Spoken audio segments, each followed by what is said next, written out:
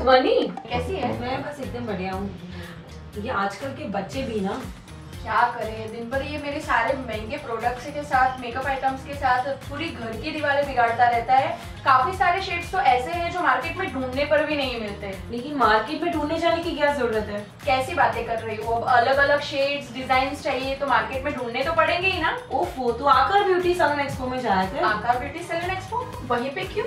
ओहो देश भर के सारे लोग आकर ब्यूटी एक्सपो में आ रहे हैं और तू मार्केट के चक्कर लगा रही है। ऐसा तो क्या है आकार ब्यूटी सैलून एक्सपो में जो मार्केट में नहीं है? ओफो आकर ब्यूटी सैलून एक्सपो में बहुत कुछ मिलता है। सारे मेकअप प्रोडक्ट्स हेयर स्टाइल्स के रिलेटेड सारी इन्फॉर्मेशन भी मिलती है। सारे इंटरनेशनल मेकअप आर्टिस्ट बॉलीवुड के रिलेटेड जितने भी makeup artist hair stylist clothing designer होते हैं वो सारे एक ही जगह पे और अंडर वन रूफ मिलता है।